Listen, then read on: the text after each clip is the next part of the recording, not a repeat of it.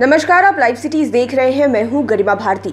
बिहार में पंचायत के चुनाव अगले महीने से शुरू होने वाले हैं और इसको लेकर तैयारियाँ तेज हो गई है। हालाँकि हमने आपको पहले खबरों में बताया था कि जो बाढ़ग्रस्त इलाके हैं, उसको लेकर अभी भी दुविधा बनी हुई है कि वहाँ पर पंचायत के चुनाव अंत में कराए जाएँगे या फिर बाढ़ की स्थिति कुछ ठीक होती है तो शुरुआत में ही कराए जा सकते हैं। लेकिन अब खबर निकल कर आ रही है कि बिहार में पंचायत चुनाव को लेकर पदाधिकारियों को तैनात किया जा रहा है, मतदान केंद्रों को भी तैयार किया जा रहा है। है पूरी खबर आपको विस्तार से बताते हैं। बिहार में पंचायत चुनाव का वक्त नज़दीक आ रहा है और राज्य निर्वाचन आयोग के निर्देश पर जिलों में चुनाव संबंधी तैयारियाँ तेज हो रही है।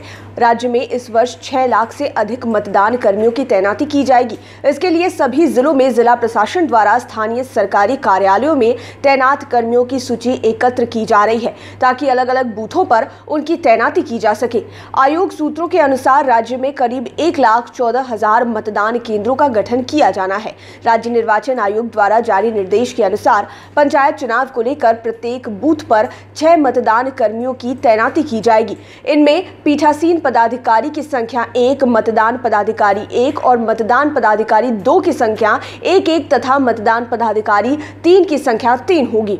आयोग के अनुसार मतदान दल की नियुक्ति करते समय जिला निर्वाचन पदाधिकारी या फिर पंचायत निर्वाची पदाधिकारी प्रथम मतदान पदाधिकारी को मतदान केंद्र पर अपरिहार्य कारणों से उनके अनुपस्थित रहने पर पीठासीन पदाधिकारी के कर्तव्यों का पालन करने के लिए प्राधिकृत कर सकेंगे। आयोग के निर्देशानुसार पीठासीन पदाधिकारी मतदान दल के अन्य सदस्यों से हमेशा संपर्क कायम रखेंगे एवं ईवीएम की प्राप्ति से लेकर मतदान की समाप्ति तक सामूहिक उत्तरदायित्व के बाद ईवीएम एवं अन्य कागजातों को जमा करने के सिद्धांत का पालन कर सकेंगे।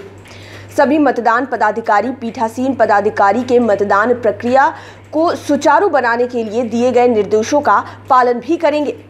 आयोग के अनुसार मतदान दल के सभी सदस्यों को मतदान पूर्वाभ्यास में अधिक से अधिक शामिल होना होगा। इन्हें ईवीएम एवं बैलेट बॉक्स के परिचालन तथा इससे संबंधित मतदान प्रक्रिया के संबंध में स्पष्ट ज्ञान प्राप्त कर लेना होगा। गौरतलब है कि इस बार राज्य में ईवीएम और बैलेट बॉक्स दोनों माध्यमों से एक साथ पंचायत के चुनाव कराए जा रहे हैं। तो अगले महीने यानी कि सितंबर से बिहार में पंचायत के चुनाव शुरू होने वाले हैं और आपको पता है कि इस बार के पंचायत चुनाव में कई तरह के बदलाव किए गए हैं।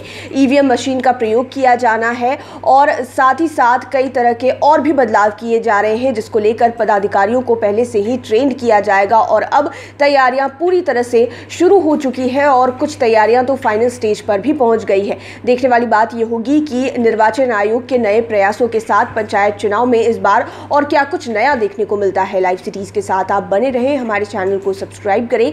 ये वीडियो फेसबुक पर देख रहे हैं तो पेज को लाइक करें। साथ ही साथ आप हमें ट्विटर पर भी फॉलो कर सकते हैं। धन्यवाद।